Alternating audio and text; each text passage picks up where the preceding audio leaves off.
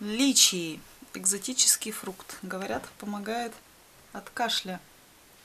И полезен для гланд, от стресса.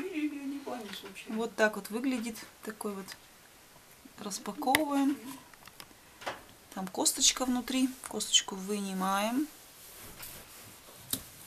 Косточка несъедобная. А мякоть вот съедобная, полезная. Говорят, при кашле можно их. closely.